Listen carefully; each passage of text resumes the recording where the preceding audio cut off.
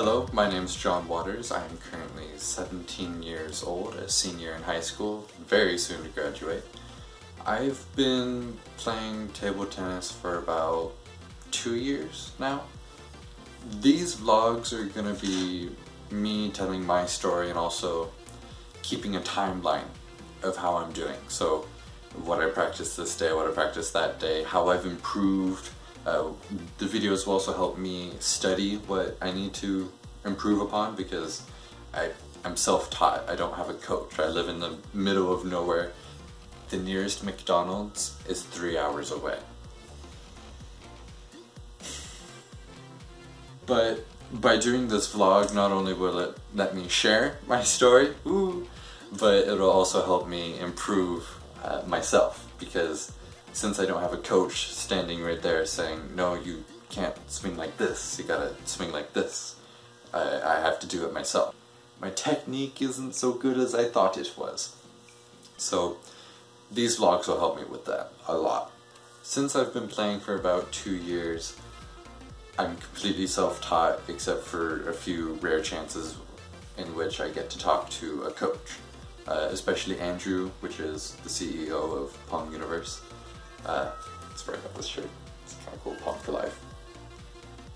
But he's helped me saying, okay, you need to try this instead, you need to be lower, which is something I need to work on. Really appreciate it.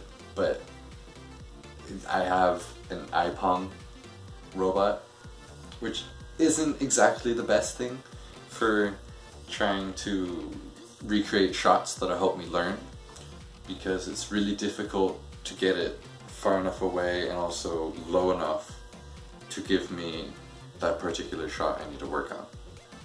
Also, learning how to return a serve is impossible with that. I'd have to do some wicked crazy things just to get the ball short enough to practice that sort of thing. I'm in my garage, that's my freezer, and the light bulb making those noises, and the wind chime everything's just wrong. Next video is gonna be, oh, I hate this thing. The next video is gonna be probably my setup and also my equipment, which is right here. I have quite a few things in my room. I've experimented a lot with it, but we'll go over the table, the iPong, my racket, and what exactly I need to work on. Because my forehand is so-so, my backhand I feel is more controlled and I'm improving a lot upon my backhand.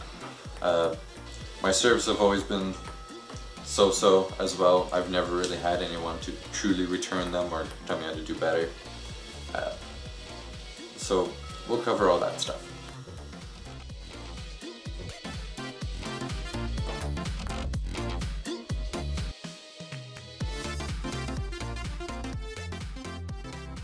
If you want to follow me on my journey, you can subscribe to this channel where I'll be posting videos hopefully weekly but not not too sure yet. So subscribe for the next one.